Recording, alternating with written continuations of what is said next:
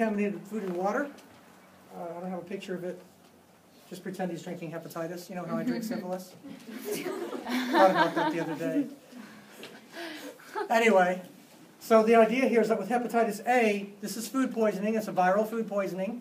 It does indeed in- infect the liver.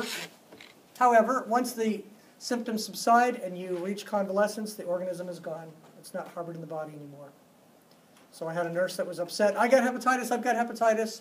We found out she had Hep A. We said, calm down. You're not going to have it forever. Just, you know, get get control of yourself. Next one is the rhinovirus. So do you see the rhinovirus particle that's there? I don't know why they're showing me this antibody. I'm not going to talk about it.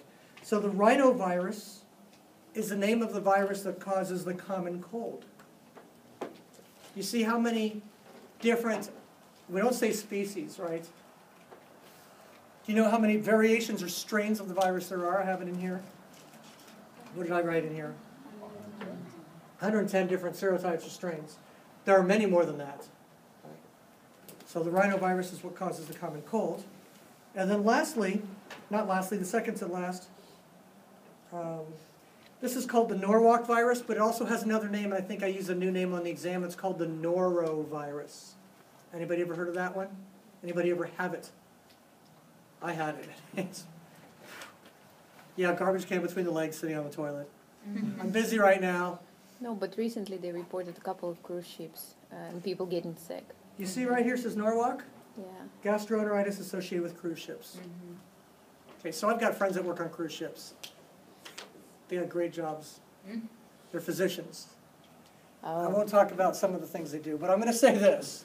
One of the things that they always do is every time they walk into another part of the ship, they always use hand sanitizer.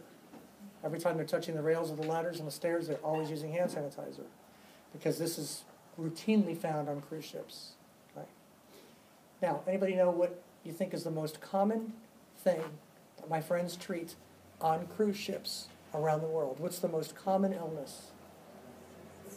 diarrhea. Everybody has that under control, right? Everybody knows to get over the counter stuff, right? So what do you think is the second most common thing he has to see people for? Gastrointestinal Yep. stuff, no? Morning after pill.